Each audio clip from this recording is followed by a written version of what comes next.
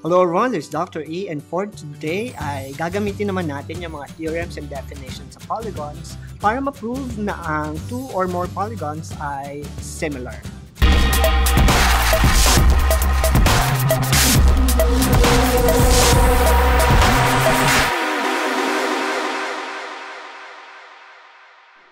Sa pagsagot sa ilan sa mga problems sa geometry, mahalaga na alam natin yung mga basic definitions, theorems, especially yung mga symbols na ginagamit natin para sa mga problems involving shapes, congruency, sides, and angles.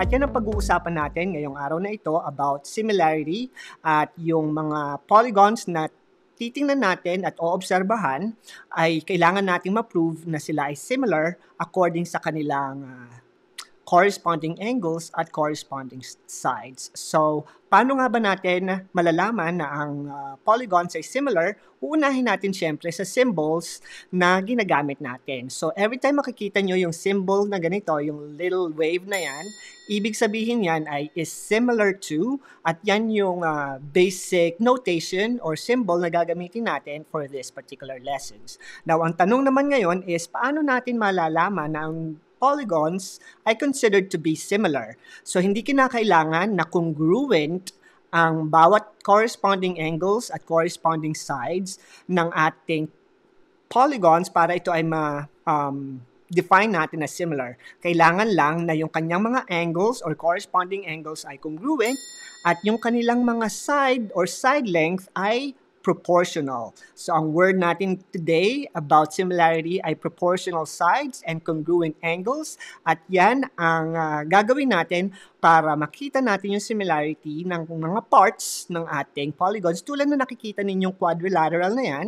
So according to this, yung quadrilateral ABCD ay similar dahil nakikita natin yung wave symbol na yan kay quadrilateral GHIJ. So yan yung trapezoid natin at kapag ka ginamitan natin ng geometric symbol, yung similarity ng ating polygon ABCD na similar daw sa GHIJ, yung corresponding angles at saka yung kanyang mga side length should be proportional. So, to note that they are congruent, hindi natin nakikita yung mga letters dun sa una. So, laki-lakihan natin dito.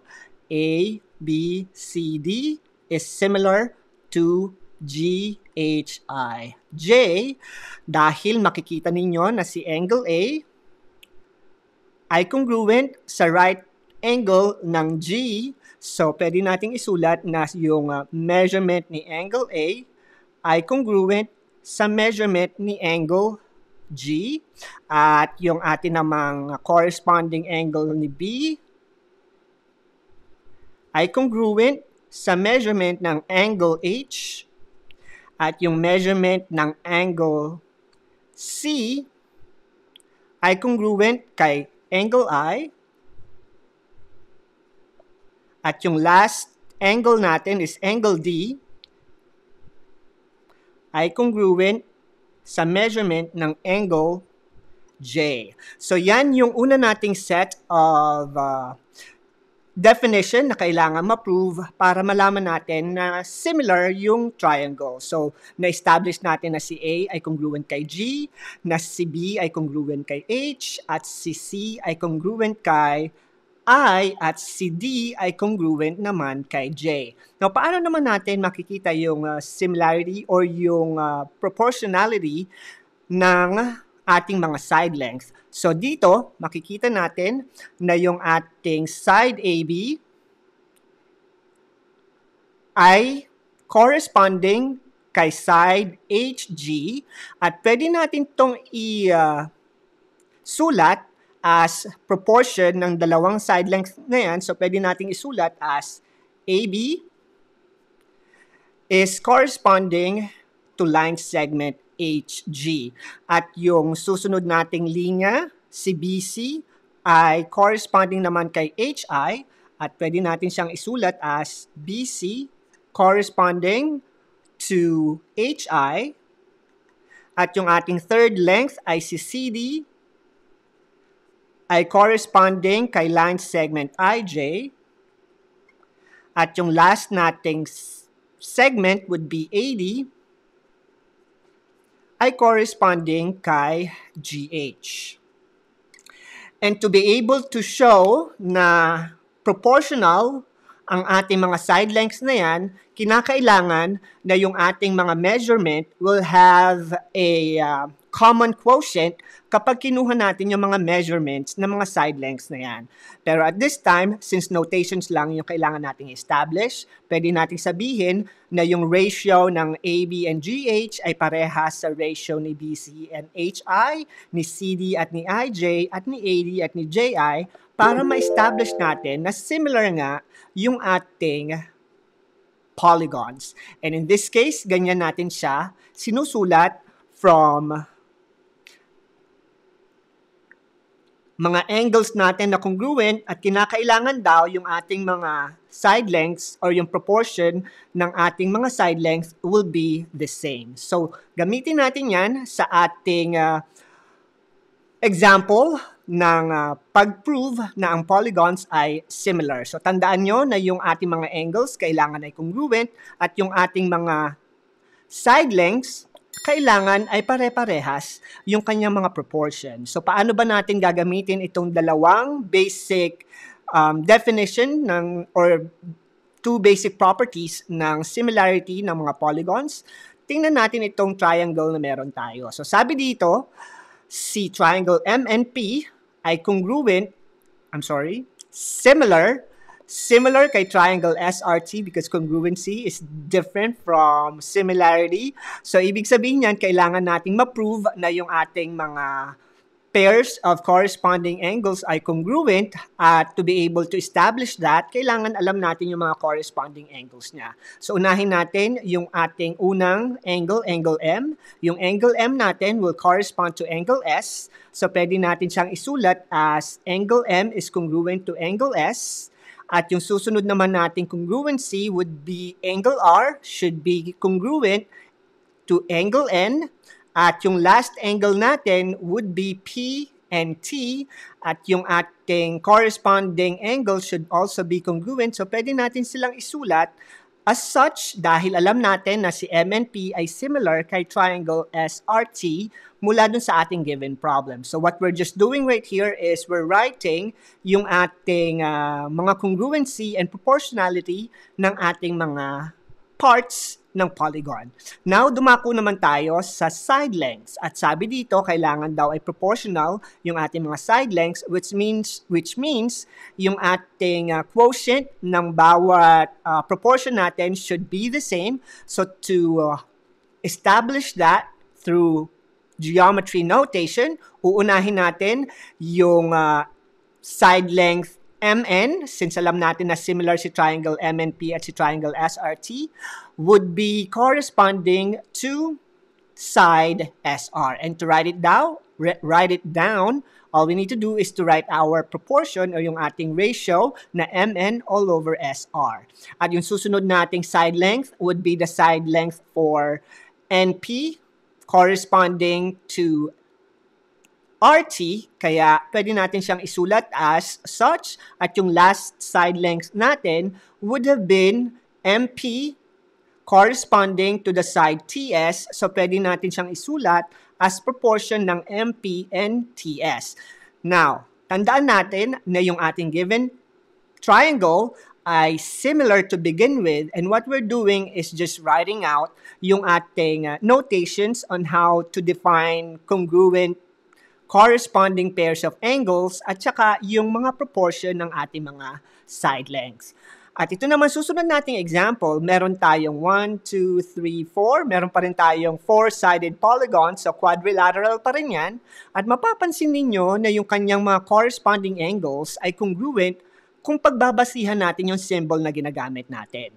So mapapansin nyo na itong ating uh, bigger quadrilateral ay merong corresponding angle sa smaller quadrilateral na to at ang mga magkakapares niyan ay si M and W, si J and and so on. At alam natin na sila yung mga, mga pares ng congruent angles dahil sa symbol na nakikita natin. So, kung ilang kada kung gaano kadami yung uh, curves natin gan, at similar siya or equal doon sa kabila nating polygon, ibig sabihin nun ay magkaparehas ang sukat nila. So, alam na natin na nasatisfy na natin yung ating first condition dahil yung corresponding angles niya ay congruent, pero hindi natin alam kung ang proportion ng kanilang mga side lengths will all be the same. So, to establish our first proof or ang ating first property na kung saan kailangan daw congruent yung ating mga angles. Ipares natin si angle J at si angle T. So meron tayong congruency kay J and T. At ang susunod naman na pares would be yung pares ni angle K at ni angle U. And isusulat natin siya in symbol form. At yan ang correct notation ng congruency ni K and ni U. At yung ating third angle na congruent sa isa't isa would be LV. So, Angle L is congruent to angle V dahil tatlo yung nakikita nating curves doon sa symbol natin. At yung last pair of angles natin sa ating quadrilateral would be yung angle M and W which happens to be also congruent dahil alam naman natin na isa lang yung kuwit or yung curve ng ating congruency. So, na-establish na natin yung first part.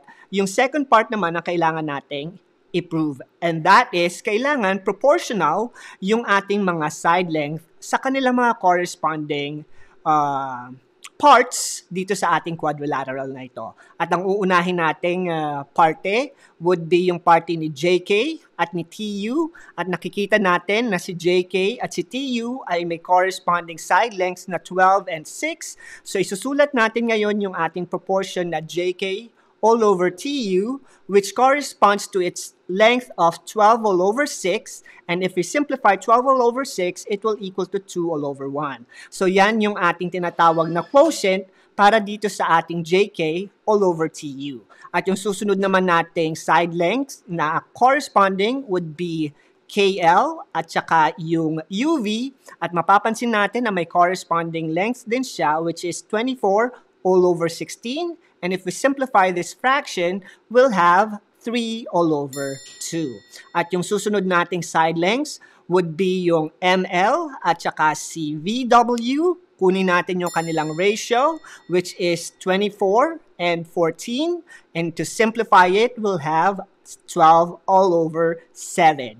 At yung huli nating pares ng corresponding lengths or side lengths would be si side length JM or MJ at CTW. At yung kanyang corresponding ratio would have been 6 all over 6 which is equal to 1. At mapapansin ninyo na yung ating mga ratio o yung proportion ng bawat corresponding side lengths natin ay unfortunately ay hindi magkakapareho.